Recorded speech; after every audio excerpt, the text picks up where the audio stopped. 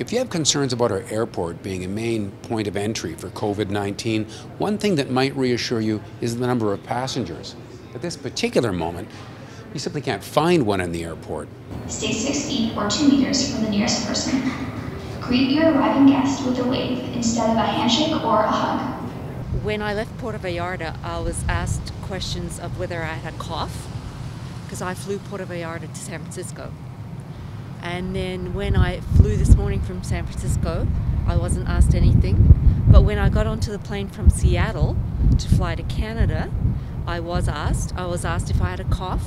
I was asked if I um, if I had to be hospitalized for the last 14 days, and and I was asked if I was turned down uh, entry onto an airplane.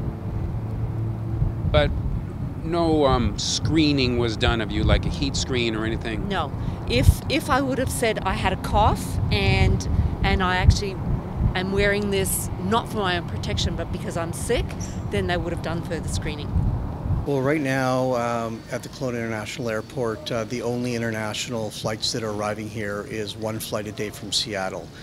And when that flight arrives, the Canada Border Service agents agents are um, uh, following the direction from the Public Health Authority of Canada, and that is to ensure that um, there's a screening test with regards to um, their health. So they're asked um, uh, multiple questions, um, as well as uh, they've asked where they've been, where they've traveled to.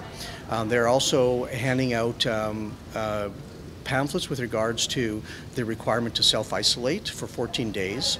And then, of course, um, they're asking them where they or what their reason to be uh, in Kelowna is. So it's only essential travel right now for business. So if people are arriving um, for uh, pleasure travel or for tourism, um, they will be turned away and they will be sent back to the United States.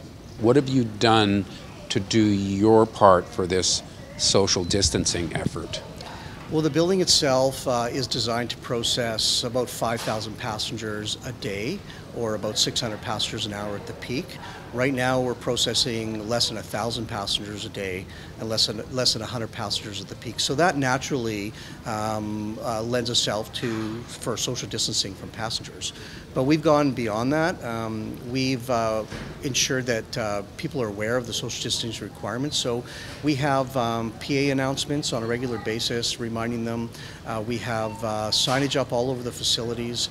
Uh, we've got visual messaging on all of our digital forms. We have lines at pre-board screening demonstrating where the six foot two meter mark is. And then we've done other things like our common use kiosks. We've turned off the majority of them, so you're not standing side by side to somebody when you're checking in. We have a, a, an enhanced cleaning program in place right now. We've had it in place for almost two months.